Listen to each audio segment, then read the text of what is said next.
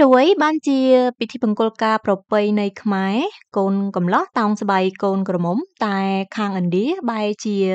ខាងកូនក្រមុំដើរតាមកូនកំលោះទៅវិញ? សូមគោរពជំរាបសួរពុកម៉ែបងប្អូនសូមស្វាគមន៍សាជាថ្មីមកកាន់ Channel JD Vlog ជួបជាមួយនឹងនាងខ្ញុំ Judy ហើយនៅថ្ងៃនេះផងដែរនាងខ្ញុំនឹងនាំអារម្មណ៍ពុកម៉ែបងប្អូនទៅទស្សនាវីដេអូដ៏គួរឲ្យចាប់អារម្មណ៍នៃពិធីមង្គលការជាពិសេសការប្រៀបធៀបប្រពៃណីវប្បធម៌ដ៏សម្បូរបែបពីរគឺប្រពៃណីអាពាហ៍ពិពាហ៍របស់ខ្មែរដែលពុកម៉ែបងប្អូនបានស្គាល់ហើយថាគឺពិធីព្រះថោងតោងស្បៃនាងនាគនិងពិធីមង្គលការបែបឥណ្ឌាហិណ្ឌូសាសនា គឺពិធីដើរជុំវិញភ្លើងឬក៏ភាសាហិណ្ឌូហៅថា Phera Ceremony ពិធីទាំងពីរនេះមានទំនៀមទម្លាប់និងនិមិត្តសញ្ញារៀងៗខ្លួនប៉ុន្តែពួកគេបញ្ជាក់ឆ្លុះបញ្ចាំងពីបេតិកភណ្ឌនិងតម្លៃខុសៗគ្នាឥឡូវនេះខ្ញុំសូមចាប់ផ្ដើមពីប្រទេសកម្ពុជាមុន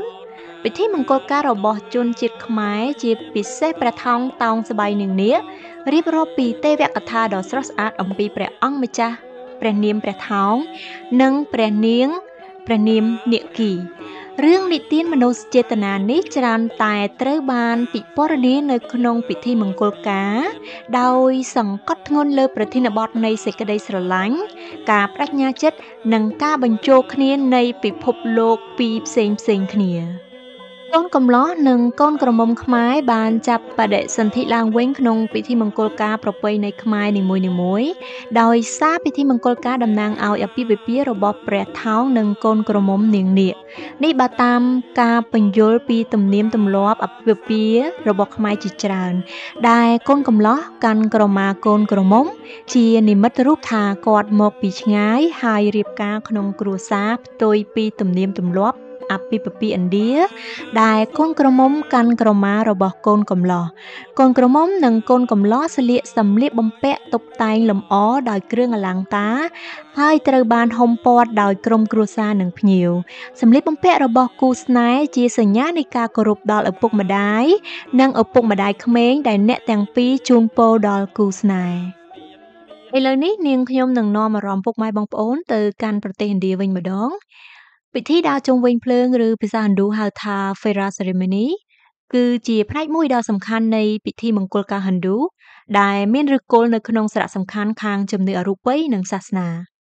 ក្នុងអំឡុងពេលប្រារព្ធពិធីនេះកូនកំលោះកូនក្រមុំត្រូវដើរជុំវិញភ្លើងដ៏ពិសិដ្ឋដែលគេស្គាល់ថាអង្គនីចំនួន7ដង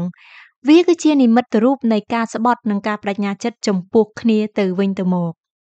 សច្ចាប្រណិធានដែលទទួលបាននៅក្នុងជំហាននីមួយៗមានដូចជាជំហានទី1ប្តីប្រពន្ធបានឧទ្ទិសទៅដល់ព្រះសម្រាប់អាហារដ៏បរិបូរណ៍នៃអាហារបំពន់និងជីវិតដ៏ថ្លៃថ្នូរដ៏គួរឲ្យគោរពជំហានទី2ប្តីប្រពន្ធអធិដ្ឋានសម្រាប់កម្លាំងរាងកាយនិងផ្លូវចិត្តដែលដឹកនាំឲ្យជីវិតមានសុខភាពល្អនិងសន្តិភាពជំហានទី3ការបំពេញកាតព្វកិច្ចខាងវិញ្ញាណដែលព្រះបានជូនពរជ័យដល់គូស្នេហ៍ដោយកម្លាំងខាងវិញ្ញាណជំហានទី4ការសម្រេចបាននូវសុភមង្គលនិង ភាពសុខដុមរមនាតាមរយៈសេចក្តីស្រឡាញ់និងការជឿចិត្តគ្នាទៅវិញទៅមកប្រកបដោយជីវិតរីករាយជាមួយគ្នាជំហានទី5បួងសួងសុំសេចក្តីសុខដល់ភាវៈរស់ទាំងអស់ក្នុងសកលលោកទាំងមូលនិងសម្រាប់បង្កើតកូនប្រកបដោយឧត្តមជំហានទី6ឆ្លងកាត់រាល់ឧបសគ្គទាំងឡាយជាមួយគ្នា មានន័យថារួមសុខរួមទុក្ខជាមួយគ្នា និងជំហានចុងក្រោយអធិដ្ឋានសម្រាប់ជីវិតនៃការយល់ដឹង ភាពស្មោះត្រង់ការរួបរួមនិងមិត្តភាពមិនត្រឹមតែសម្រាប់ខ្លួនពួកគេតែប៉ុណ្ណោះទេក៏ប៉ុន្តែសម្រាប់សន្តិភាពនៃសកលលោកផងដែរគណៈពេលដែលពិធីមង្គលការខ្មែរនិងពិធីមង្គលការហិណ្ឌូគឺជាការប្រារព្ធពិធីដ៏ស្រស់បំព្រងនៃសេចក្តីស្រឡាញ់វាមានភាពខុសប្លែកគ្នានៅក្នុងពិធី និងនិមិត្តសញ្ញា ប៉ុន្តែពិធីមង្គលការរបស់ជនជាតិខ្មែរសង្កត់ធ្ងន់ទៅលើប្រពៃណីវប្បធម៌និងចំណងគ្រួសារដ៏រឹងមាំចំណែកពិធីមង្គលការបែបហិណ្ឌូផ្ដោតលើពិធីសាសនានិងការសន្យាចំពោះគ្នាទៅវិញទៅមកចំពោះមុខព្រះនាងខ្ញុំសូមអរគុណពុកម៉ែបងប្អូនដែលបានចូលរួមស្វែងយល់ពីភាពខុសប្លែកគ្នាដ៏គួរឲ្យទាក់ទាញរវាងពិធីព្រះថោងនាងនាគនិងពិធីដើរជុំវិញភ្លើងឬ Phera Ceremony ទំនៀមទម្លាប់ទាំងពីរនេះរំលឹកយើងអំពីដំណើរដ៏ស្រស់បំព្រងរបស់ ស្នេហាក្នុងវប្បធម៌ផ្សេងៗគ្នាក្នុងនាមនាងខ្ញុំជាប្រជាពលរដ្ឋខ្មែរហើយបានរៀបការជាមួយប្តីជនជាតិឥណ្ឌានាងខ្ញុំបានទទួលនៅបទពិសោធន៍នៃប្រពៃណីទាំងពីរនេះដោយផ្ទាល់ខ្លួនអូខេជាបន្ទាប់ នាងខ្ញុំសូមគោរពអញ្ជើញពុកម៉ែបងប្អូនទៅទស្សនាវីដេអូអាពាហ៍ពិពាហ៍ផ្ទាល់របស់នាងខ្ញុំដែលជាកន្លែងដែលនាងខ្ញុំបានបញ្ចូលទាំងធាតុខ្មែរនិងហិណ្ឌូរួមទាំងមានពិធីហ្វេរ៉ាដ៏អស្ចារ្យផងដែរវាជាវប្បធម៌ចម្រុះដ៏ស្អាតហើយនាងខ្ញុំមិនអាចរងចាំក្នុងការចែករំលែកពេលវេលាដ៏ពិសេសនេះជាមួយពុកម៉ែបងប្អូនឡើយនាងខ្ញុំនឹងទទួលបានសាក្សីនៅសេចក្តីសាទរដ៏ស្រស់បំព្រងនិងសេចក្តីស្រឡាញ់ដែលបានបំពេញនៅក្នុងការប្រារព្ធពិធីរបស់ពួកយើងទាំងពីរ ប្រសិនបើពុកម៉ែបងប្អូនចូលចិត្តនៅវីដេអូនេះសូមកុំភ្លេចជួយ Like Share Comment និង Subscribe ដើម្បីទទួលបានការស្វែងយល់ពីវប្បធម៌ជាច្រើនទៀតហើយជាការប៉ុណ្ណាដើម្បីទៅទស្សនាដំណើរអាពាហ៍ពិពាហ៍របស់នាងខ្ញុំនាងខ្ញុំសូមអរគុណដែលពុកម៉ែបងប្អូនបានក្លាយជាផ្នែកមួយនៃដំណើរជីវិតអាពាហ៍ពិពាហ៍របស់ពួកយើងទាំងពីរអូខេកុំឲ្យខាតពេលយូរតោះសូមតាមដានទស្សនាវីដេអូពេញទាំងអស់គ្នាចាសូមគោរពអញ្ជើញ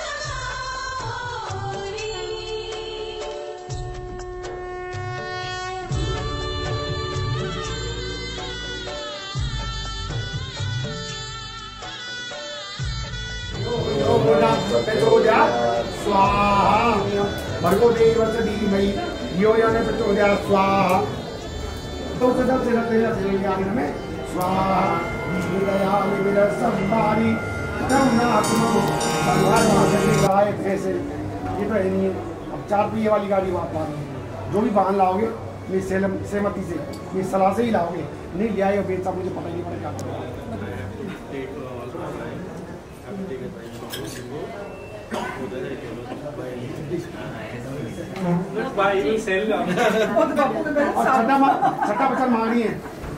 सालों में छह ऋतु आती है। सर्दी, गर्मी, बरसात जैसे अब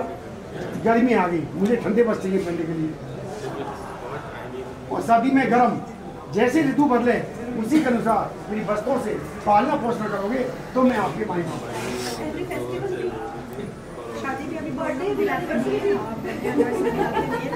सातवां वचन है सतवें साखा है मुझसे प्रेम का व्यवहार रखोगे। कभी लड़ाई झगड़ा नहीं करोगे।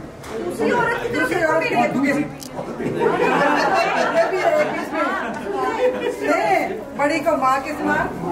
छोटी को बेटी के समान और वाली को बहन के समान। बहन के समान रखोगे।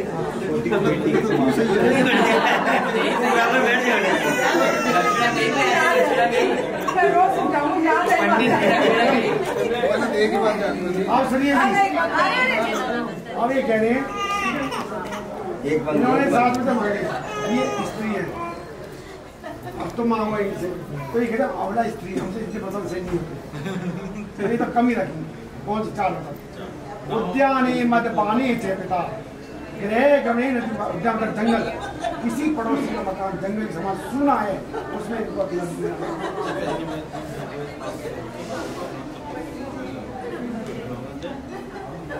मत। है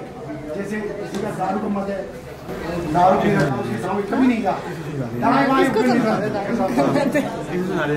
उसे सामने नहीं कहा। अभी जब अंकित है? अंकित सुल्ली। अंकित है सुल्ली।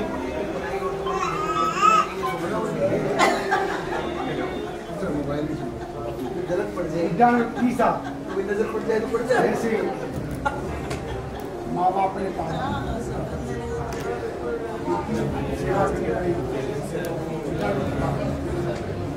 जैसा भी पति दिया है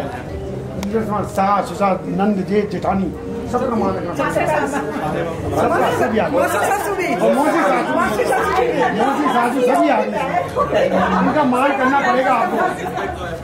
इन सबका मान करना पड़ेगा।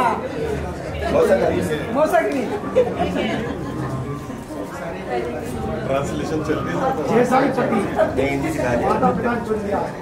ये के सेवा करना और चौथा है। बस इंग्लिश सिखा देगी। हाँ? बुलाई। इंग्लिश सिखा देगी।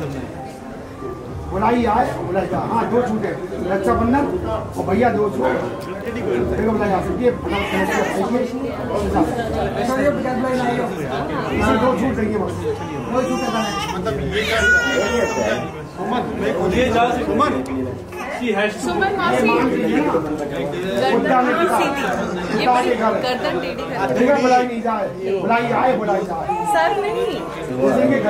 ऐसे ऐसे करके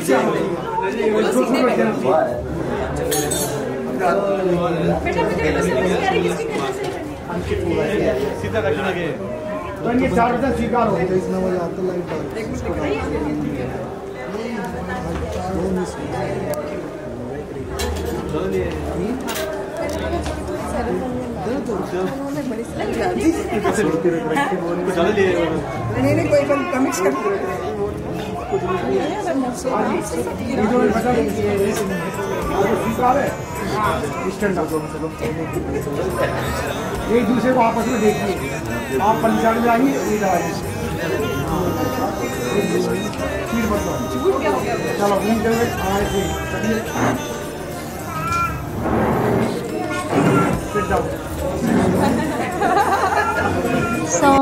អរគុណពុកម៉ែបងប្អូនដែលបានតាមដានទស្សនាវីដេអូនេះតាំងពីដើមរហូតដល់ចប់សម្រាប់ពុកម៉ែបងប្អូនដែលមិនទាន់បានជួយចុច Subscribe Channel របស់នាងខ្ញុំទេសូមកុំភ្លេចជួយចុច Subscribe Channel ក៏ដូចជាបើកសញ្ញាកណ្ដឹង